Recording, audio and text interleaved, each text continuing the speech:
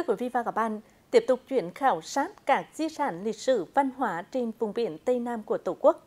Sáng nay, ekip phóng viên của Đài Phát thanh Truyền hình Quảng Trị đã được tham dự lễ chào cờ Tổ quốc, chào cột mốc chủ quyền trên hòn nhàn thuộc xã đảo Thổ Châu, quần đảo Phú Quốc, tỉnh Kiên Giang. Hòn nhàn là nơi đặt điểm cơ sở A1 đỉnh dầu cực Nam trên vùng biển của Tổ quốc. Sau gần 3 giờ đi tàu cao tốc từ quần đảo Phú Quốc ra đảo Thổ Châu, rồi chuyển sang thuyền nhỏ. Ekip phóng viên Đài Phát thanh Truyền hình Quảng Trị và đoàn khảo sát của Hội Khoa học Lịch sử Việt Nam đã đặt chân lên hòn nhàn, một hòn đảo nhỏ có dạng hình như một con tàu chở đầy đá trắng, bồng bềnh trên biển xanh. Giữa mênh mông sóng nước vùng biển đảo Tây Nam của Tổ quốc, lễ chào cờ, chào cột mốc chủ quyền diễn ra giản dị nhưng cũng rất trang nghiêm. Chào cờ! Châu. Thường quân Việt Nam đi, trong lòng cố quốc bước chân dồn vang trên đường gặp gần xa cởi mau chiến thắng vàng hồ nước, xung ngoài xa trên khung quân hành ca. Đường huynh quang xây xác quân thù thắng giang lao cùng nhau lập chiến khu vì nhân dân chiến đấu không ngừng tiến vào gà xa trường tiến lên cùng tiến lên nước non Việt Nam ta vững bền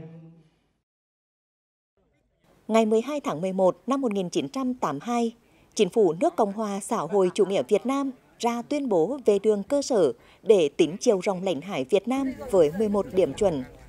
Trong đó, Hòn Nhàn là điểm A1 đầu tiên. Năm 2017, sau hơn một năm xây dựng, mốc chủ quyền quốc gia ghi tọa độ điểm A1 trên Hòn Nhàn được khánh thành và bàn giao cho Bộ Chỉ huy Bộ đội Biên phòng tỉnh Kiên Giang quản lý, bảo vệ. Thưa quý vị và các bạn, hôm nay à, cùng theo đoàn có à, giáo sư, à, tiến sĩ nhà giáo nhân dân Nguyễn Quang Ngọc, Phó Chủ tịch Hội Khoa học Lịch sử Việt Nam. À, trước hết xin à, à, thầy cho biết là cái cảm nhận của mình khi đặt chân đến hòn đảo này. Vâng ạ, tôi ờ, rất là vinh dự được uh, trả lời phỏng vấn của đài truyền hình Quảng Trị. Phải nói rằng là hôm nay ấy, ở cái điểm này, đây là cái điểm xa nhất về phía Tây Nam uh, của lãnh thổ, lãnh hải Việt Nam. Ừ. Ở trên biển ấy thì người ta tính lãnh thổ là bằng lãnh hải. Và cái điểm này đấy là cái điểm mà đấy, nó đánh dấu rằng là ở phía trong này đấy là vùng đất, vùng nước hoàn toàn là thuộc chủ quyền của nước Cộng hòa xã hội chủ nghĩa Việt Nam. Thì ở cái điểm xa nhất đấy, về phía biển về phía tây nam của nước Cộng hòa xã hội chủ nghĩa Việt Nam đấy thì tôi thấy rằng là tổ tiên ta vô cùng vĩ đại. Đấy.